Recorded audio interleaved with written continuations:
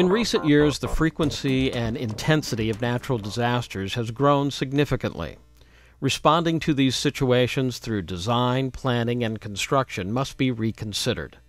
When a disaster strikes, temporary housing should serve both as a shelter and as a move to individual and community recovery. The University of Illinois' Rehome provides a socially and environmentally aware response. The Rehome utilizes a quick deployment and assembly strategy.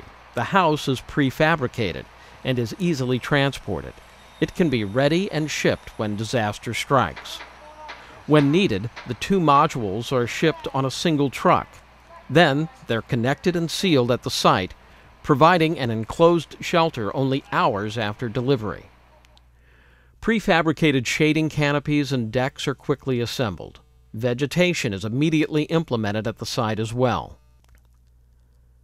The two unit design maximizes the connection between interior and exterior space, allowing for flexibility in how the space is used.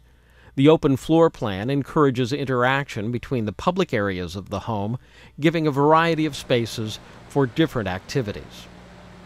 Flex space off of the main living room can be used as an office or second bedroom to accommodate a variety of users. The variety and flexibility of livable areas in the rehome is also demonstrated through two outdoor patios.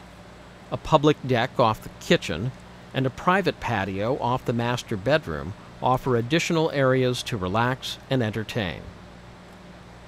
The rehome also incorporates a variety of sustainable design practices.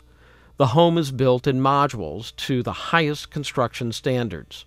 This ensures an airtight structure and efficient construction. The rehome has super insulated walls with an R45 value and a super insulated floor and ceiling with R60 values.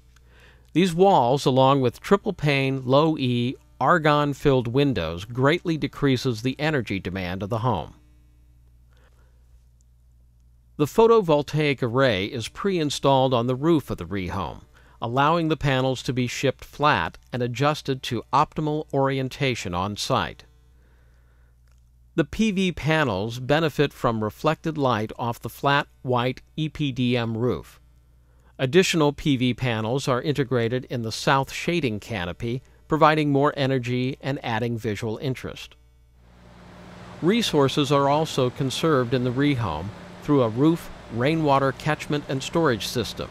This can be used to water vegetation. The Rehome provides a flexible solution for the needs of natural disaster victims and their communities. It's our wish that the design of the home sparks hope in the hearts of its occupants and the neighborhood, inspiring the rebuilding of more sustainable communities.